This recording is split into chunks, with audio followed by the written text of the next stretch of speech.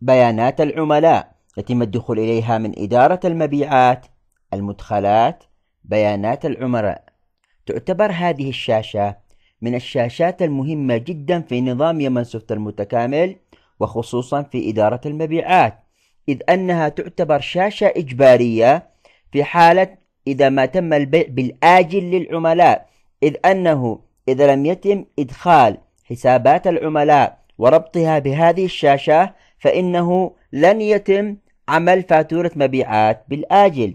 تعتبر هذه الشاشة بنك معلومات بالنسبة للعملاء إذ أنني من خلالها أستطيع إدخال هؤلاء العملاء بعد إضافة في الدليل المحاسبي وأستطيع كذلك ربط هؤلاء العملاء بأنواع العملاء. بمعنى هل هذا العميل الذي سوف أقوم بإضافته ينتمي إلى عملاء صنعاء؟ عدن هل هو عميل محلي أو خارجي؟ طبعا هؤلاء أنواع العملاء تم إضافتهم في شاشة أخرى تسمى شاشة أنواع العملاء الظاهرة أمامنا في الشاشة. هذه شاشة أنواع العملاء يتم إدخالها يدويا. فإذا ما عدنا مرة أخرى إلى بيانات العملاء نستطيع كذلك في شاشة بيانات العملاء من أن نحدد طريقة الدفع. هل العميل بالآجل أم نقدا وأستطيع كذلك أن أجعل هذا العميل نقد وآجل في نفس الوقت. كذلك نستطيع إدخال كافة البيانات التعريفية بهذا العميل. ونستطيع كذلك في شاشة بيانات العملاء من تحديد السعر الخاص بالبيع لهذا العميل ومن ثم تثبيت هذا السعر بحيث لا يمكن في فاتورة المبيعات البيع بغير السعر المحدد لهذا العميل في هذه الشاشة. أستطيع كذلك في شاشة بيانات العملاء من تحديد حد الدين الخاص بهذا العميل بحيث لا يسمح النظام أو يقوم بإظهار رسالة تنبيهية في حالة إذا ما تم البيع لهذا العميل وتجاوز حد الدين الخاص به حد الدين المحدد في هذه الشاشة كذلك في نسبة التخفيض. أستطيع في شاشة بيانات العملاء تحديد نسبة تخفيض للعميل بحيث لن يسمح النظام بالبيع أو بالتخفيض بأكثر من هذه النسبة أو أقل من النسبة المحددة في هذه الشاشة. أستطيع كذلك ربط هذا العميل بالمنطقة بالضغط على F9 طبعا هذه المناطق تم إضافتها في شاشة سابقة هي شاشة بيانات المناطق الظاهرة أمامنا. في الشاشة شاشة بيانات المناطق. تم إضافتها سابقا. فإذا ما عدنا مرة أخرى إلى بيانات العملاء أستطيع كذلك ربط هذا العميل بمندوب معين. هذا المندوب تم إدخاله وإضافته في شاشة أخرى تسمى شاشة بيانات المندوب الظاهرة أمامنا. كذلك أستطيع في بيانات العملاء من ربط هذا العميل بمحصل معين. نستطيع كذلك في شاشة بيانات العملاء من تحديد فترة الائتمان أي فترة الاستحقاق على كل فاتورة بحيث أستطيع عند عمل فاتورة مبيعات أن أحدد فترة الاستحقاق أو الوقت الواجب على العميل أن يقوم بسداد قيمة الفاتورة المباعة له. نستطيع كذلك في شاشة بيانات العملاء والتي تتكون من هذه الشاشة تسمى شاشة المدخلات كذلك شاشة عملية معرفة الرصيد الافتتاحي لهذا العميل عند بداية التعامل معه إجمالي المدين أي المبالغ الدائنة عليه إجمالي الدائن أي المبالغ التي قام بسدادها والتي محسوبة له الرصيد الحالي المتوفر الآن في كشوفات الحسابات. كذلك الإحصائيات.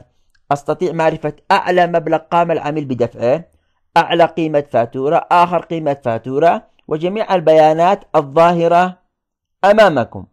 إذا تعتبر شاشة بيانات العملاء من الشاشات المهمة للغاية وتعتبر بالنسبة للمستخدمين نظام مايكروسوفت المتكامل بنك معلومات لهؤلاء العملاء الذين تتعامل معهم الشركة سواء أكانوا عملاء بالآجل أو عملاء نقديين. الآن سنوضح خطوات إضافة العملاء في شاشة بيانات العملاء في البداية لابد أن نقوم أولا بإضافة هؤلاء العملاء في الدليل المحاسبي في جانب الأصول المتداولة من أجل أن يقوم النظام ويسمح بإضافتهم في هذه الشاشة وربطهم في شاشة بيانات العملاء. الآن سوف نخرج من شاشة بيانات العملاء ونذهب إلى إدارة الحسابات. المدخلات الأساسية الدليل المحاسبي ونوضح الآن كيف يتم إضافة العملاء في الدليل ومن ثم ربط حساباتهم في الدليل وإضافتها في شاشة بيانات العملاء. هناك عدة طرق لإضافة الحسابات في الدليل المحاسبي. الطريقة الأولى أن يتم الضغط على زر الإضافة وإضافة رقم الحساب مباشرة. لكن في حالة أننا لم نكن من قبل بمعرفة آخر رقم للعميل أو الحساب الرئيسي للعملاء. فأفضل في الدليل المحاسبي أن يتم أولا حفظ الحساب الرئيسي للعملاء. مثلا نحن لدينا مثلا الحساب الرئيسي للعملاء في الدليل هو واحد اثنين ثلاثة صفر واحد. قد يختلف من شركة إلى شركة من دليل إلى دليل. فقبل الإضافة نقوم بعملية البحث على حساب العملاء الرئيسيين واحد اثنين ثلاثة صفر واحد اف تسعة. هؤلاء عملاء الشركة تم إضافتهم سابقا. طبعا حساب رئيسي. الآن سأقوم بالتفريع منهم إلى حساب فرعي لجميع العملاء الذين نتعامل معهم في الشركة وخصوصا إذا ما كانوا بالآجل. ما علينا إلا الضغط على زر الإضافة ورقم العميل الأول سوف يكون واحد ثلاثة صفر واحد صفر صفر واحد. التحرك بالتاب أو بالماوس طبعا هذا هو الحساب الرئيسي له. واحد اثنين ثلاثة صفر واحد. ثم كتابة اسم العميل. مثلا العميل عبد الله الخولاني كمثال ونحدد ريال. ثم نوع الحساب فرعي. عملة الحساب نختار ريال. ثم نقوم بعملية الحفظ. فإذا ما أردنا مثلا إضافة عميل جديد ما علينا إلا الضغط على زر البحث وإدخال الحساب الرئيسي للعملاء بعد حفظه واحد اثنين ثلاثة صفر واحد ثم اف تسعة ونقوم بمعرفة آخر حساب أو آخر عميل تم إضافته. فيكون رقمه صفر صفر. إذا الحساب الجديد سوف يكون رقمه صفر صفر اثنين. على النحو التالي إضافة واحد اثنين ثلاثة صفر واحد صفر صفر اثنين. الحساب الرئيسي له هو الحساب الذي قبله. واحد اثنين ثلاثة صفر واحد. مثلا العميل حسين الحضرمي كمثال. عملته مثلا دولار. نوع الحساب فرعي. ونختار العملة دولار. طبعا هذه العملات تم إضافتها سابقا في شاشة بيانات العملات ثم نقوم بعملية الحفظ. الآن إذا ما كنا قد حفظنا آخر رقم عميل نستطيع الإضافة مباشرة واحد اثنين ثلاثة صفر واحد صفر صفر ثلاثة. والحساب الرئيسي واحد اثنين ثلاثة صفر واحد. هناك عدة طرق لإضافة العملاء والحسابات في الدين المحاسبي. مثلا العميلة وفاء خالد كمثال عملة مثلا درهم إماراتي. ثم نوع الحساب فرعي ونقوم باختيار العملة درهم. ثم نقوم بعملية الحفظ. الآن أوضحنا خطوات إضافة العملاء في الدليل المحاسبي. وللبحث عليهم إدخال الحساب الرئيسي للعملاء ثم ضغط على F9 نلاحظ ماذا؟ أصبحوا ظاهرين أمامنا بالشاشة. الآن نخرج من إدارة الحسابات ونذهب إلى إدارة المبيعات. المدخلات الأساسية بيانات العملاء. الآن نوضح خطوات إضافة العملاء الذين تم إضافتهم في الدليل المحاسبي في شاشة بيانات العملاء. على النحو التالي يتم الضغط على زر الإضافة ثم الذهاب إلى رقم الحساب والبحث على العملاء الذين تم إضافتهم في الدليل المحاسبي إما بالضغط على F9 والبحث عليهم أو الطريقة الأسهل أن نكون حافظين الحساب الرئيسي للعملاء الذي هو واحد اثنين ثلاثة صفر واحد ثم F9 نلاحظ ظهور العملاء مباشرة نقوم باختيار العميل عبد الله خولان. نقوم بالضغط عليه مرتين. ثم الذهاب إلى رقم العميل.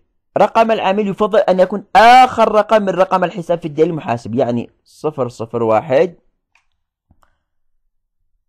إذا ما أردنا مثلا ربط هذا العميل عبد الله الخولاني بأنواع العملاء. فما علينا إلا أن نختار إلى أي نوع ينتمي عبد الله الخولاني. هل ينتمي إلى عملاء صنعاء محليين درجة أولى وهكذا. طبعا هؤلاء أنواع العملاء. تم إضافتهم في شاشة أخرى في تهيئة نظام إدارة المبيعات يسمى شاشة أنواع العملاء. طبعا هذا الحقل اختياري وليس إجباري. الغرض منه طباعة التقارير بناء على أنواع العملاء. نختار مثلا عملاء صنعاء كمثال. ثم نقوم بإدخال البيانات التعريفية بهذا العميل على النحو التالي. وبعد إدخال البيانات التعريفية للعميل على النحو الظاهر أمامنا نذهب إلى مستوى التسعير. طبعا هذا الحقل اختياري وليس إجباري. نستطيع من خلاله تحديد السعر الذي سيتم بيعه لهذا العميل بناء على الأسعار الظاهرة أمامنا. هذه الأسعار أو هذه الخيارات تم إضافتها في إدارة المخزون. بعد إذا قمنا بالتأشير على أحدها فإن النظام لن يسمح إلا بالبيع بنفس السعر المحدد في هذا الحقل. طبعا حقل اختياري وليس إجباري. رقم المحصل أستطيع أن أقوم بربط العميل عبد الله الخولاني بأحد المحصلين طبعا هؤلاء المحصلين تم إضافتهم في شاشة سابقة لشاشة بيانات العملاء هي شاشة بيانات المحصلين. طبعا اختياري وليس إجباري. إذا ما أردنا ربطه بأحد هؤلاء المحصلين نقوم باختياري. مثلا عبد سلمان أحمد حدد دين أستطيع من خلال هذا الحقل وضع سقف معين للمبلغ الذي نستطيع أن نقوم بتدين العامل عبد الله الخولاني بحيث عندما نقوم بتحديد حدين فإن النظام لن يسمح بتجاوز هذا حد الدين مثلا حد الدين مليون ريال. فإذا ما أردنا البيع بأكثر من مليون ريال فإن النظام لن يسمح. كذلك نسبة التخفيض. إذا مثلا قمنا بتحديد نسبة التخفيض 2% فإن النظام لن يسمح بأن يتم التخفيض أقل أو أكثر من 2% في فاتورة المبيعات. رقم المنطقة. إذا ما أردنا ربط هذا العميل بمنطقة معينة ما عليك إلا الضغط على F9 طبعا هذه المناطق تم إضافتها في شاشة سابقة لشاشة بيانات العملاء تسمى بيانات المناطق. فنقوم باختيار منطقة. طبعا حق الاختياري ليس إجباري. كذلك رقم المندوب. إذا ما أردنا أن نقوم بربط هذا العميل بمندوب معين. طبعا المندوبين تم إضافتهم في شاشة سابقة هي شاشة بيانات المندوبين. ما عليك إلا الضغط على F9 واختيار المندوب. مثلا أسامة الحكيمي. كمثال. طبعا حقوق الاختيارية في أغلبيتها. المنطقة المندوب حق الاختيار ليس إجباري. الآن بداية التعامل نستطيع تحديد بداية التعامل مع هذا العامل مثلا من بداية السنة كمثال. فترة الائتمان أي فترة الاستحقاق. بمعنى إذا قمت ببيع فاتورة لهذا العميل بالآجل ما هي المدة التي يجب عليه أن يقوم بسداد قيمة هذه الفاتورة؟ تسمى فترة الاستحقاق مثلا أسبوعين. 14 يوم كمثال. في حالة أردنا إيقاف هذا العميل. وما عدنا نتعامل معه نستطيع الضغط على إيقاف عميل من من المربع الموجود أسفل الشاشة. طبعا هذه هذه بيانات العملاء تسمى شاشة المدخلات. فإذا ما دخلنا إلى العمليات نستطيع معرفة الأرصدة المتعلقة بهذا العميل. مثلا الرصيد الافتتاحي عند بداية التعامل معه إجمالي مدين يعني المبالغ أو الديون التي عليه. إجمالي دائن المبالغ التي له ومردودات المبيعات الرصيد الحالي أي الرصيد المتبقي عليه. فإذا ما دخلنا إلى إحصائيات نستطيع معرفة جميع البيانات والعمليات التي تمت على هذا العمل من خلال الحقول الظاهرة أمامنا. وسوف نقوم بضرب أمثلة عليها فيما بعد. الآن نقوم بعمليات الحفظ. فإذا ما أردنا مثلا إضافة عميل آخر ما علينا إلا الضغط على زر الإضافة والذهاب إلى رقم الحساب والضغط. إما على F9 وأنا لا أفضل هذه الطريقة. الطريقة الأفضل هو أن يتم حفظ حفظ الحساب الرئيسي للعملاء الذي هو واحد اثنين ثلاثة صفر واحد. طبعا هذا الحساب يختلف من دليل إلى دليل ومن شركة إلى شركة. ثم الضغط على F9 ونختار مثلا حسين الحضرمي وننتقل إلى رقم العميل. طبعا رقم العميل يمثل آخر رقم من الحساب صفر صفر اثنين. نوع العميل طبعا قلنا اختياري وليس إجباري الغرض منه فقط التقارير. لن نقوم باختيار هذه المرة. ثم نقوم بإدخال البيانات الخاصة به على النحو التالي كما قمنا بعمل سابقا. وبعد إدخال بيانات التعريفي بهذا العميل نستطيع كما قلنا سابقا بتحديد السعر الذي نريد أن نبيع له آه، ربط هذا العميل بمندوب معين. طبعا حقول هذه اختيارية وليست إجبارية. تحديد حد الدين مثلا ثلاثمائة ألف ريال.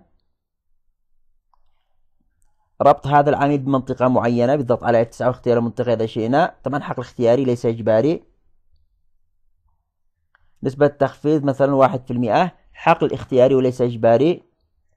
ثم تحديد بداية التعامل معه. تاريخ خمسة وعشرين أربعة ألفين وثلاثة عشر. ثم نقوم بعملية الحفظ. الآن نلاحظ ماذا؟ أننا إذا ذهبنا إلى العمليات فواتير المبيعات وقمنا بالضغط على زر الإضافة والبحث على العملاء طبعا آجل والبحث على العملاء نقوم بالضغط على F9 ماذا نلاحظ؟ ظهور العملاء الذين تم إضافتهم في شاشة بيانات العملاء. نلاحظ مثلا أن العميل وفاء خالد تم إضافته في الدليل المحاسبي لكنها لم تظهر في شاشة بيانات العملاء في الفاتورة. السبب في ذلك أننا لم نقم بإضافتها في شاشة بيانات العملاء. صحيح أننا أضفناها في الدليل المحاسبي إلا أننا عندما لا نقوم بإضافة في شاشة بيانات العملاء فإنها لن تظهر في الفواتير. لذلك نعود ونقوم بإضافة العميل وفاء مرة أخرى. الضغط على زر إضافة. والبحث على العميل إما بالضغط على F9 أو ادخال رقم الحساب الرئيسي مثلا عميل الوفاء آخر حساب لها أو آخر رقم لها صفر صفر ثلاثة. ثم نقوم بإكمال بقية البيانات كما قمنا بالعمل سابقا ثم نقوم الآن بعمليات الحفظ. الآن سنقوم بعمل فاتورة مبيعات لأحد العملاء لمعرفة العمليات والإحصائيات اللي تمت على هذا العميل على النحو التالي الخروج من الشاشة الذهاب إلى العمليات فواتير المبيعات الضغط على زر الإضافة آجل رقم المخزن مثلا واحد هناك ثلاث طرق للبحث على أرقام العملاء. الطريقة الأولى إما الضغط على F9 لكن في حالة كان معك عملاء كثير للغاية عملية البحث على العميل المراد سوف تكون متعبة قليلا. لذلك الطريقة الثانية هي أن يتم حفظ رقم العميل مباشرة مثلا 001 ثم التحرك بالتاب أو بالماوس. هذا في حالة استطعنا حفظ أرقام لكن إذا كان لدينا أرقام عملاء كثير جدا وعملية الحفظ صعبة فالطريقة الأفضل والأسهل في الواقع العملي أن يتم البحث على العملاء من خلال الاسم. ما علينا إلا إدخال رمز النجمة وكتابة اسم العميل المراد مثلا العميل وفاء. وفاء F9 نلاحظ ماذا؟ ظهور اسم العميلة مباشرة بمجرد الحفظ عن طريق الاسم. ثم نقوم بالضغط على اسم العميل مرتين. التحرك بالتاب. آه، البيان في الفاتورة. عليكم قيمة بضاعة. عليكم قيمة تلفون جلاكسي إس 4 الآن ننزل إلى رقم الحساب أو رقم الصنف. آه، يتم إنزال رقم الصنف بعدة طرق منها إما الضغط على F5 و F6 مباشرة أو الطريقة الأخرى أن يتم البحث عن طريق اسم الصنف نقوم بإدخال رمز النجمة. ثم مثلا نكتب جلاكسي أو سامسونج ثم F5 و F6 ونختار مثلا تلفون جلاكسي S4 كمثال. ونقوم بإدخال الكمية مثلا ثلاث حبات. ونقوم بإدخال التكلفة أو سعر البيع. طبعا سعر البيع 3500 تلفون جالاكسي اس 4 بالدرهم لأن عملته بالدين المحاسب بالدرهم. ثم نقوم بالتحرك والانتقال إلى صنف آخر. إدخاله مباشرة 001 شرطة 00 مثلا واحد. وهكذا نقوم بإدخال بقية الأصناف المباعة لهذا العميل.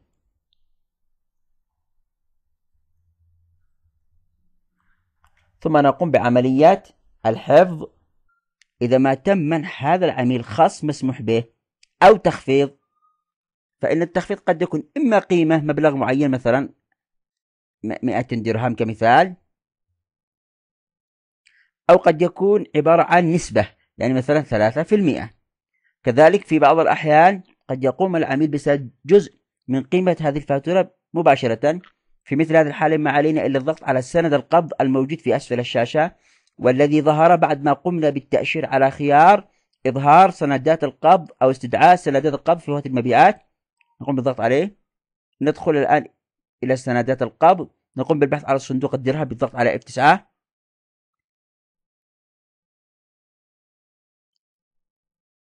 ونقوم بإدخال المبلغ. مثلا 500 درهم. في على الشاشة 500 درهم. ثم نقوم بعملية الحفظ. الآن نقوم بعملية حفظ الفاتورة ونذهب إلى إدارة الحسابات من أجل التأثير المالي من خلال الترحيل فواتير المبيعات آجل. ونقوم الآن بالضغط على الفاتورة رقم واحد الخاصة بالعميل وفاء ونقوم بالضغط على زر الترحيل. الآن بعد عملية الترحيل والتأثير المالي إذا ما عدنا مرة أخرى إلى إدارة المبيعات المدخلات بيانات العملاء وقمنا بالبحث على العميل وفاء مثلا يتم الضغط على زر البحث ثم الضغط على F9 اختيار العميل وفاء ثم الضغط على زر التعديل. فإذا ما دخلنا الآن إلى هذه القسم أو قسم العمليات في شاشة بيانات العملاء ماذا نلاحظ؟ نلاحظ ظهور بيانات متعلقة بالعميل وفاء فإجمالي المدين يمثل إجمالي المبالغ التي على هذا العمل يعني الدين الذي عليه. أما إجمالي الدائن فيمثل إجمالي المبالغ التي قام هذا العميل بسدادها.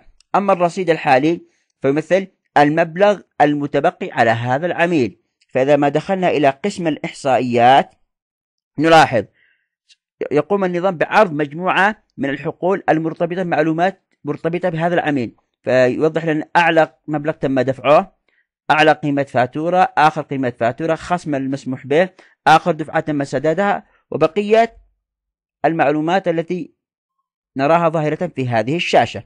الآن سوف نقوم بضرب مثال آخر. نقوم بالحفظ.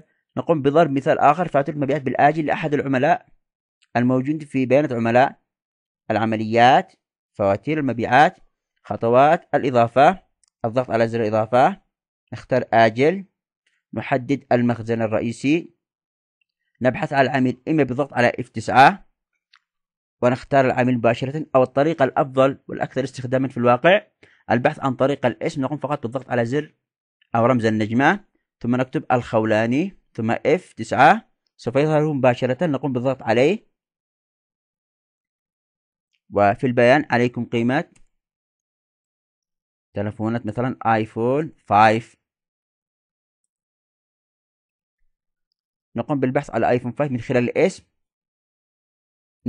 رمز النجمة آيفون ثم إف 5 أو اف 6 سوف يظهر. نقوم بالضغط عليه مرتين. إدخال الكمية ثلاث حبات. طبعا عملة الفاتورة سوف تكون بالريال. لأن عملة العميل بالريال مثلا 145 ألف قيمة الآيفون 5 ثم نقوم بعمليات. ماذا نلاحظ؟ نلاحظ ظهور نلاحظ ماذا؟ أن قيمة هذه الفاتورة أكبر من حد الدين المحدد في بيانات العملاء. فإذا ما قمنا بالضغط على زر نعم. نلاحظ أن قيمة الفاتورة 435 ألف ريال. بينما حد الدين المسموح به لهذا العميل في بيانات العملاء فإذا ما قمنا بالبحث على العميل الخولاني بالضغط على البحث ثم F9 عبد الله الخولاني ماذا نلاحظ؟ نلاحظ أن حد الدين المسموح له هو فقط مئة ألف ريال بينما قيمة الفاتورة تجاوزت المئة ألف ريال قيمة الفاتورة أربعمائة وخمسة وثلاثين ألف ريال إذا حد الدين مهم جدا في بيانات العملاء إذا قمت بتنبيهه بهل تجاوز المبلغ الخاص بالفاتورة المباعة حد الدين أم لا؟ ثم نقوم الآن بعمليات الحفظ والتأثير المالي من خلال الترحيل في إدارة الحسابات ترحيل فواتير المبيعات. ثم اختيار طريقة دفع الآجل ثم فاتورة نقوم بالتأشير عليها ترحيل. إذا ما أردنا استعراض محتويات الفاتورة قبل ترحيلها ما علينا إلا جعل المؤشر عند التاريخ والضغط عليه مرتين ثم بالزر الأيمن. نلاحظ ظهور إيش؟ أصناف الفاتورة. ثم نقوم الآن بعملية الترحيل والتأثير المالي. نقوم بهذا قد أوضحنا ماذا يقصد بيانات العملاء وقمنا بضرب أمثلة مرتبطة بالبيع بالآجل لهؤلاء العملاء الظاهرين أمامنا في الشاشة.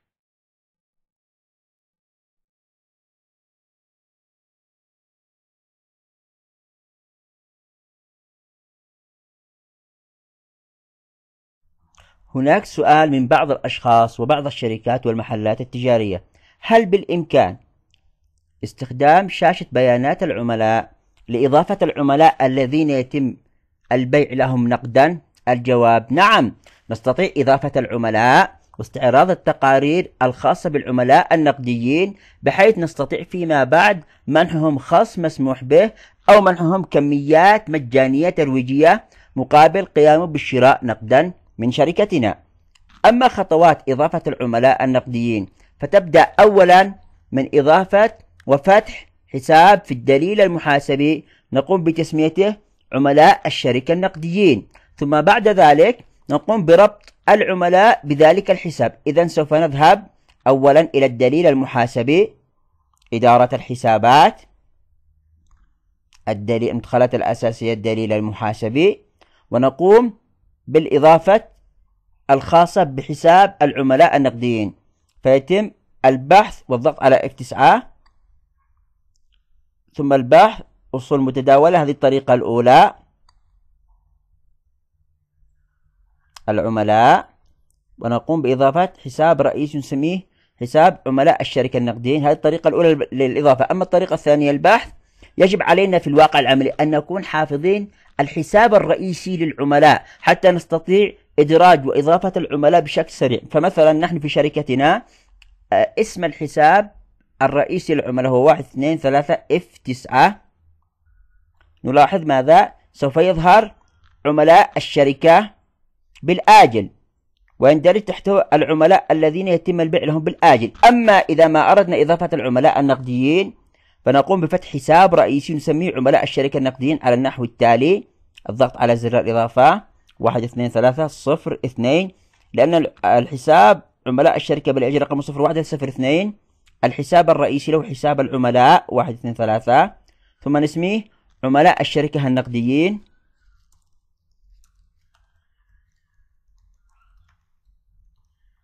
نوع الحساب رئيسي. عملته طبعا ريال لأنه حساب رئيسي. ثم نقوم بعملية الحفظ الآن سوف نضيف حساب فرعي تحليلي. نسميه عملاء الشركة النقديين التحليلي. نقوم فقط بالبحث بالضغط على زر البحث وإدخال الحساب الرئيسي F9. العملاء النقديين ونفرع من حساب العملاء النقديين. عملاء النقديين حساب فرعي تحليلي. كي يظهر في الشاشة؟ إضافة واحد اثنين ثلاثة صفر اثنين صفر صفر واحد. الحساب الرئيسي لهذا الحساب هو هذا الحساب. عملاء الشركة النقديين.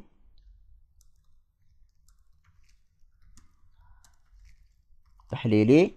نوع الحساب. فرعي مثلا. ريال. الحفظ. الآن نذهب إلى شاشة بيانات العملاء. في إدارة المبيعات المدخلات بيانات العملاء. ونقوم الآن بإضافة العملاء النقديين على النحو التالي. نقوم بالضغط على زر الإضافة. مثلا رقي رقم العميل. النقدي هو الأول مثل واحد. نقوم بربطه برقم الحساب للعملاء النقديين في الدين المحاسبي. ويتم ذلك إما بالضغط على F9 هذه الطريقة الأولى للبحث.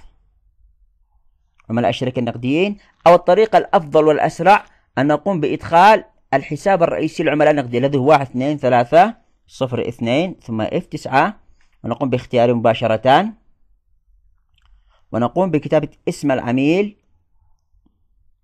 مثلا العميل نقدي معين البعداني. ثم نقوم بإدخال بقية البيانات التعريفية الخاصة به. وإذا ما أردنا مثلا آه، ربط هذا العميل النقدي بمنطقة معينة أو بنوع معين من العملاء نقوم بربطه. وكذلك إذا ما ربطنا مثلا بمنطقة معينة وهكذا ثم نختار طريقة دفع نقدان نلغي الآجل ثم نقوم بعملية الحفظ. الآن نضيف عميل آخر إضافة. مثل رقم اثنين ونقوم بإظهار عملاء الشركة النقديين ثم F9 عملاء الشركة النقديين ونقوم بكتابة اسم العميل على النحو التالي مثلا خالد أحمد. ونقوم باختيار نقدان ثم نكمل بقية البيانات والحفظ وهكذا. فإذا ما ذهبنا مثلا لعمل فاتورة مبيعات نقدا للعملاء النقديين نقوم بدخول عمليات فواتير المبيعات إضافة نختار عملاء نقدا رقم المخزن المخزن الرئيسي. ثم نقوم بالبحث على عملاء النقدين إما بالضغط على F9 سيظهر مباشرة أو البحث عن طريق الاسم البحث عن طريق الاسم. إذا هناك طريقتان لإظهار أرقام وأسماء العملاء. اضغط على F9 مباشرة لكن في حالة كان لديك عدد كبير من العملاء فإن عملية البحث شاقة لذلك أفضل أن يتم البحث عن طريق الاسم مثلا معين ثم F9 نلاحظ ظهوره مباشرة. الصندوق ريال ثم مثلا مبيعات نقدية للعميل معين.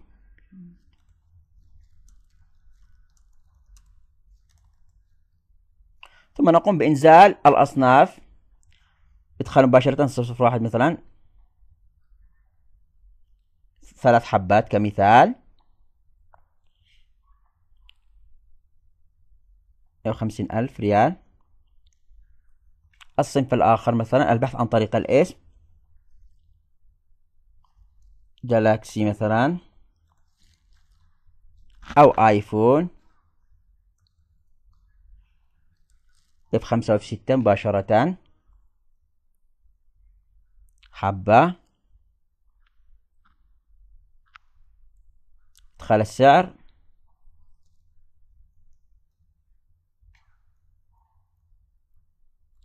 ثم نقوم الآن بعملية الحفظ والترحيل من إدارة الحسابات. عملية فواتير المبيعات. نوع الفاتورة نقدا. نرحل. فإذا ما عدنا مرة أخرى إلى إدارة المبيعات وذهبنا مثلا إلى التقارير فواتير المبيعات وأردنا مثلا معرفة المبيعات المرتبطة بالعملاء سواء أكانوا بالآجل أو نقدا. يتم الدخول لتقارير فواتير مثلا المبيعات. البحث حسب العميل مثلا. ثم الدخول إلى نوع التقرير إما اختياري أو إجمالي مثلا تحليلي. خيار التقرير. والآن نبحث عن نوع العميل عملاء صناعي إذا ما أردنا. أو طريقة الدفع مثلا نقدا.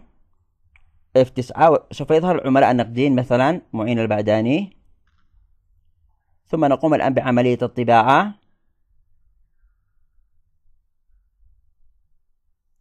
نلاحظ ظهور فواتير مبيعات حسب العميل. طبعا هذه الفواتير المبيعات نقدا. فإذا ما أردنا آجل آجل. ونقوم بالبحث على العملاء الآجل إما عن طريق رقم العميل أو اسم العميل F9 مثلا. وفاء خالد كمثال ثم الطباعة. نلاحظ ظهور الفاتورة المباعة للعميلة وفاء خالد بالآجل. وهكذا نستطيع طباعة التقارير بناء على أنواع العملاء وطريقة الدفع. وهكذا المبيع الشهرية نستطيع كذلك الطباعة على أساس حسب العميل. إذا نكون بها قد أوضحنا شاشة بيانات العملاء ما الفائدة منها وما أهميته في إدارة المبيعات ونستطيع إدخال البيانات بناء على طريقة إما نقدا أو آجل. وارتباط هذه الشاشة بالعديد من المخرجات المرتبطة بالتقارير في إدارة المبيعات. إذا شاشة بيانات العملاء شاشة مهمة للغاية وهي شاشة إجبارية في حالة البيع بالآجل.